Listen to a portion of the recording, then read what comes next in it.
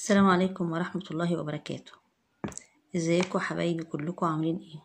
النهاردة إن شاء الله هنشتغل unit 3 لسنة تانية إعدادي. إحنا اشتغلنا unit 3 لستة وفي أولى إعدادي. آه النهاردة إن شاء الله هنشتغلها لتانية إعدادي بس هنشتغل أول درسين بس lesson 1 و lesson 2 عشان هياخدوا وقت وإن شاء الله نكمل بعد كده. وأي سؤال ليكوا ابقى اكتبوه في التعليقات وإن شاء الله هعمل لكم اللي أنتوا عايزينه. قبل ما أبدأ الفيديو أتمنى تشتركوا في القناة عشان تستفيدوا وإن شاء الله يوصلكم كل جديد. نبدأ على بركة الله. الوحدة الثالثه زي ما أنتوا شايفين يا حبايبي بتكلمنا عنوانها جريت جوبز يعني وظائف عظيمة. أو المقصود بيها هنا هتبقى وظائف مفيدة للبشرية. هنشوف دلوقتي هنتكلم عن الوظائف ومعناها. طبعا ليسون 1 و 2 هو اللي إحنا هنشتغلهم النهارده. آه هنقرأ الأول المفردات بتاعة الدرسين آه وهقراهم معاكم لأن في ناس طلبوا إن أنا أقرأ الكلمات. طبعا معنى الكلمة موجود قصادها. إنما النطق أنا هنطقها معاكم عشان إيه الناس اللي عاوزة النطق. آه تاريخ الميلاد date of birth أو birth date. بطل هيرو ناشئ أو حديث السن صغير في السن يعني جينيور شخص أكبر سنا senior competition مسابقة أو منافسة. رياضة كرة القدم handball نهائي أو مباراة نهائية final طيب بالنسبة للوظائف surgeon طبيب جراح. surgeon طيب راعي أو كفيل patron خلاص خلوا بالكم من نطقها. patron surgeon طبيب جراح. patron راعي أو كفيل. sports coach يعني مدرب رياضي nuclear يعني scientist يعني عالم نووي nuclear عالم نووي المصريين القدماء ancient Egyptians. الكلمة دي ancient Egyptians. أميرة princess خديوي طبعا عارفين أنتوا الخديوي درستوا كلمة خديوي في الدراسات قبل كده الخديوي توفيق والخديوي اسماعيل khedive الجامعة الوطنية National University جامعة القاهرة Cairo University سمكة القرش shark. attack يعني يهاجم أو هجوم. heart problems يعني مشاكل بالقلب. heart problems كلمة heart يعني مش... لقلب و problems مشاكل. attack يهاجم أو هجوم. تجارب علمية experiments. ابتدائي primary إعدادي preparatory نووي nuclear آه خلاص. علاجات treatment treatment الطب أو الدواء medicine يبقى كلمة medicine دي لها معنيين. يا إما طب يا إما أدوية. متوتر أو عصبي nervous nervous يناقش discuss يحسن improve أرض أرض يعني land تمام كده؟ يبقى إحنا كده قرينا كلمات الدرس الأول والتاني. لسه لها بقية برضو تحت. عندك فريق كرة يد handball team Africa Cup of Nations يعني كأس الأمم الأفريقية. خلي بالكم يا حبايبي كلمة nations دي يعني أمم مفردها nation أمة. prize يعني جايزة pronounce يعني ينطق. نكمل قراية الكلمات. Tunisia against Germany score teamwork goal chess chess player event Tunisian خلي بالكم كل كلمة معناها بالعربي قصادها. إحنا اللي يهمنا النطق. المعنى أنتوا شايفينه قدامكم في الكتاب. تمام؟ بعد ما خلصنا معاني الكلمات هنيجي على تصريفات الأفعال. يعني عندنا فعل زي bear bear يعني يلد الماضي بتاعه bore والتالت والتصريف التالت born. جاي منها لما تيجي تعمل جملة تقول إيه؟ طبعا من صغركم أنتوا اتعودتوا ما أجي أقول أنا ولدت في الإسكندرية مثلا أقول I was born in Alexandria. born هي التصريف التالت لفعل يلد bear. mean يعني يعني أو يقصد الماضي بتاعها meant meant يرمي أو يلقي throw threw thrown وزي ما إحنا عارفين في ال TH بتطلع لسانك شوية حرف الس. ال TH مش هو الحرف مش هو السين بالعربي يا سنة تانية. آه هو الث بنطلع لساننا فيه شوية. become يعني يصبح. become. became. become. التصريف الثالث زي الأول. الكلمة وعكسها بقى. junior عكسها senior. brave شجاع. coward patient صبور. Impatient خلي بالكم في في بعض الصفات يعني قليلة مش كتير. إما أجي أجيب العكس بتاعها أحط I M في الأول. successful يعني ناجح. كلمة success بس من غير ال F U L معناها نجاح. unsuccessful يعني غير ناجح أو فاشل يعني. متشابه similar عكسها different مختلف. طبعا إحنا مش هنقرأ كل حاجة في الدرسين زي ال reading وال listening إحنا مش هنقراهم طبعا لأن ديت عبارة عن قراءة ونصوص استماع دي بتقروها لوحدكم عشان بس ما نطولش الفيديو قوي. إحنا هنقول الحاجات المهمة. زي ما اتعودنا وعملنا قبل كده في unit 1 و unit 2 دي طبعا مصطلحات أو expressions المفروض تكونوا عارفينها. get married يعني يتزوج. أنتوا عارفين إن get لوحدها معناها يحصل على. تيجي مع get married يعني يتزوج. get job يحصل على وظيفة. do expression experiment يبقى كلمة experiment تجربة علمية بتاخد ال verb do start يعني يبدأ start preparatory school يعني يبدأ الدراسة بالمرحلة الإعدادية. start charity يعني ينشأ مؤسسة خيرية. charity يعني مؤسسة خيرية. win يعني إيه سنة تانية يعني يفوز. competition يعني يفوز بالمسابقة. يفقد ساقه a leg. يخسر مسابقة a competition. يبقى يفوز في المسابقة a competition. يخسر مسابقة a competition. بعد كده في نص ال listening الاستماع هو زي ما قلت لكم. خلاص مش هنركز عليه برضو عشان ما نطولش الفيديو. اتفقنا؟ وادي الجزء الخاص بال reading برضو اهو. تمام كده؟ اهيت. تعالوا بقى لما نشوف ال grammar أو القواعد بتاعة lesson 1 أو and 2 أو ال grammar بتاع unit 3 على بعض. عامة grammar unit 3 الماضي البسيط. إحنا اتكلمنا قبل كده عن المضارع البسيط والمضارع المستمر. النهاردة هنتكلم عن زمن الماضي البسيط.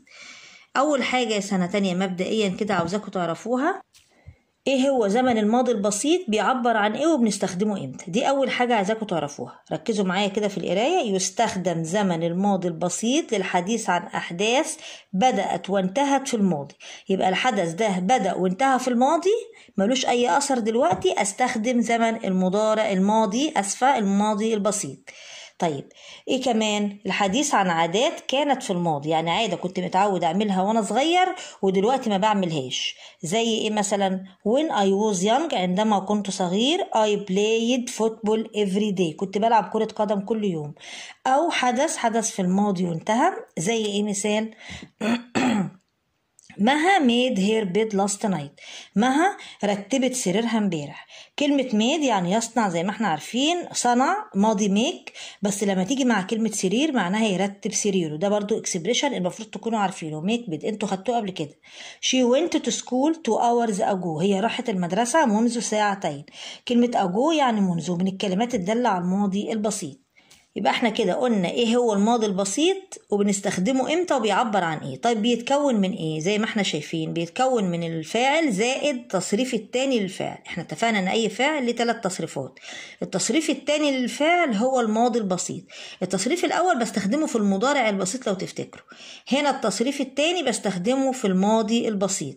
وطبعا إحنا عارفين إن الأفعال يا إما منتظمة يا إما غير منتظمة. المنتظم لما أجي أجيب منه الماضي البسيط بحط دي أو اي دي أو اي اي دي تمام كده؟ وفي طبعا أفعال بتبقى irregular غير منتظمة. لما أجي أجيب منها الماضي البسيط أو التصريف التاني ما بحطش D ولا E D ولا I E D بالعكس أنا بغير شكل الفعل تماما. زي verb go يذهب. بيبقى تصريفه التاني إيه؟ went. أهي. يبقى دي أفعال كلها irregular أهيت غير منتظمة. cut يبقى cut. eat ate swim swam sleep slept. put put drink drank go went ride rode تمام؟ طيب فعل يكون اللي هو verb to be الماضي البسيط بتاعه إيه سنة تانية؟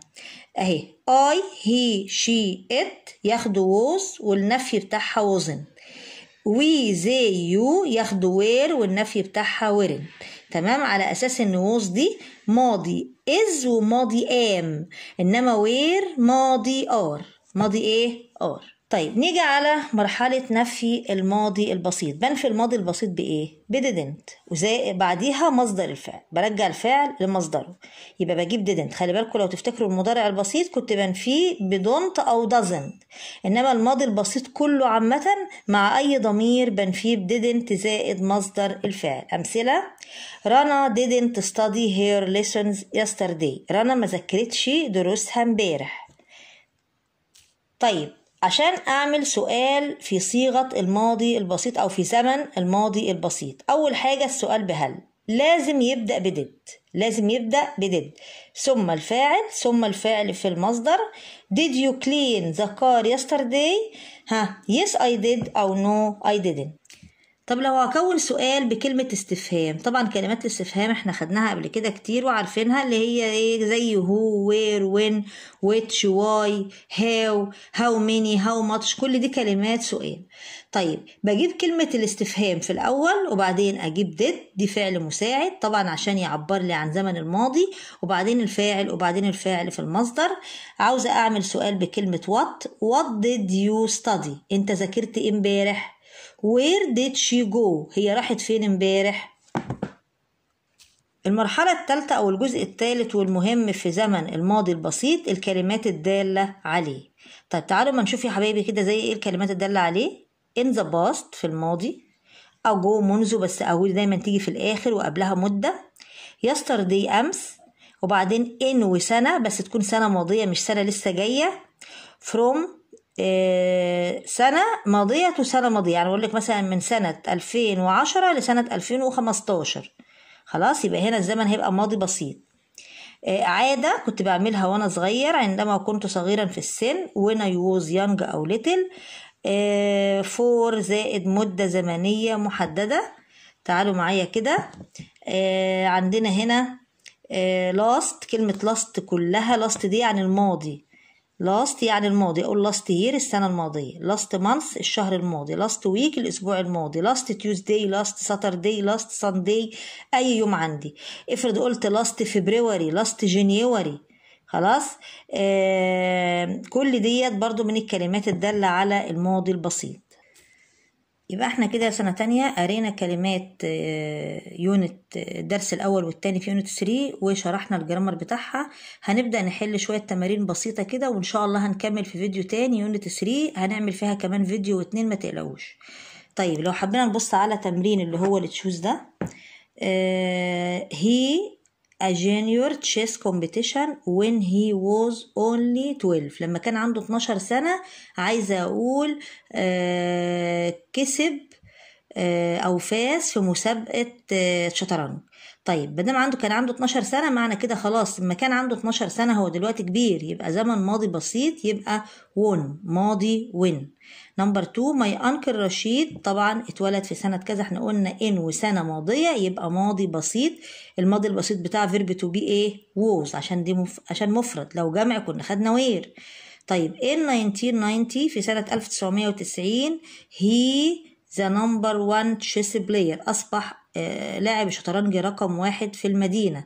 became أصبح طيب number 4 when ها ده سؤال أهوت كلمة استفهام when وبعدين إحنا اتفقنا في الماضي البسيط المساعد إيه؟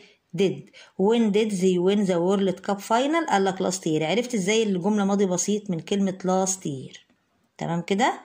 طيب where did your parents ها آه ماضي بسيط أهو.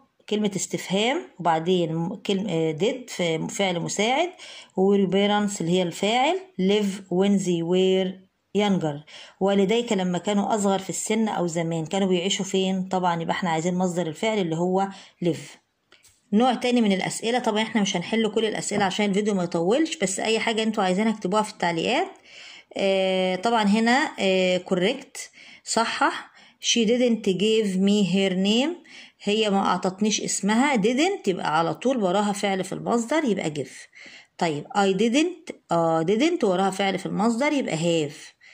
Where did you learn طبعا غلط لأنه حاطط اس في الفعل وإحنا عايزين مصدر الفعل لأن ده سؤال. عندنا كلمة الاستفهام أهو زي ما اتعلمنا عندنا الفعل المساعد did وعندنا الفاعل يبقى إحنا عايزين هنا مصدر الفعل يبقى learn. طيب the senior team doesn't win the final in. الله.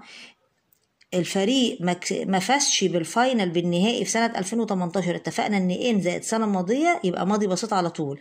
يبقى ما تنفعش doesn't هتبقى إيه يا حبايبي؟ didn't بكده نكون إلى حد ما شرحنا الدرس الأول والتاني وحلنا عليه شوية تمارين وإن شاء الله هنعمل فيديو واتنين في الوحدة التالتة.